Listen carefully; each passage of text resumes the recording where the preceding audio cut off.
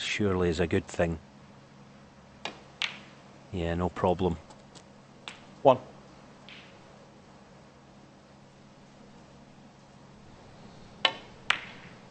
Such a tough shot the best of times, and you're last and free flowing in your best form. That's very missable. Now then, not all about composure. He's still got a bit to do. It's quite tricky. he's uh, certainly given himself a golden chance to take a huge scalp. Six.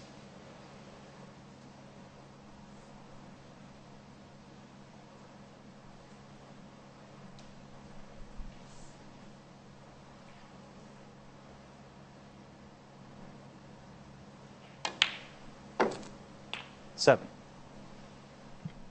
And let's remind ourselves, if he does win tonight, it will be his fifth victory over Williams in eight meetings.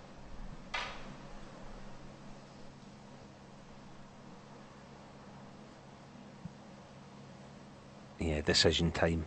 Uh, playing the cannon, probably if you're going to play it gently, you want to catch the middle red of the three if you play it gently. He's not got that red, and it's gone wrong.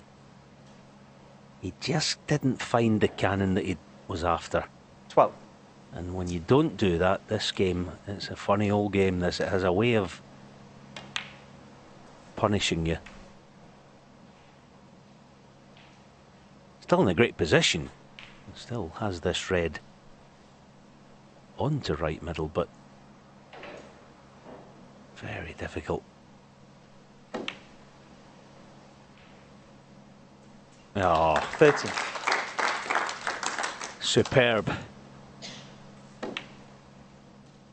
Looking for this black then, and one more red.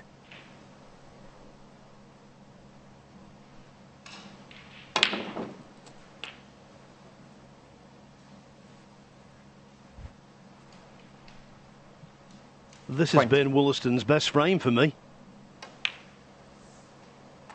21. On the cusp of setting up a last 32 meeting with Jak Jones.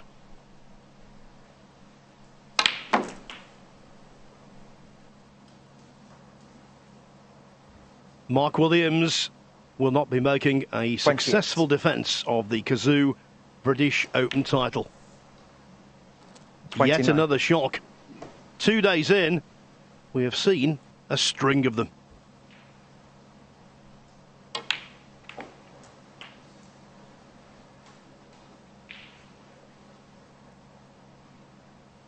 Thirty-six. Ben Woollaston. Big Ben 56. has struck, much. Good match. and the bell is tolled for uh, Mark Williams.